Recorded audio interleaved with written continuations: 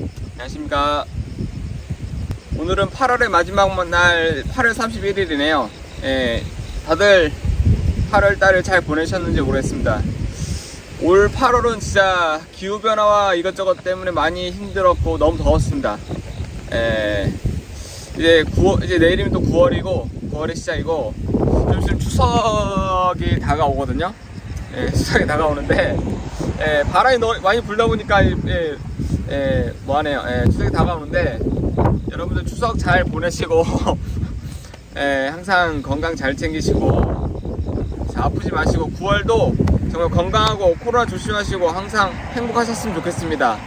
예, 오늘 이제 제주, 제주 날씨는 좀 흐리고 예, 저 뒤에 보시면 저기 성산일출군 같아요.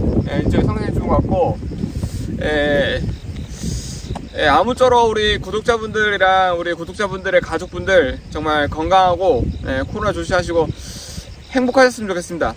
예, 9월도 정말 예, 아직 많이 부족하지만 예, 항상 그 영상 많이 봐주셔서 너무 감사하고 예, 항상 제가 기도하고 있으니까 우리 구독자분들 예, 어디 계시던 항상 기도하고 건강을 빌겠습니다.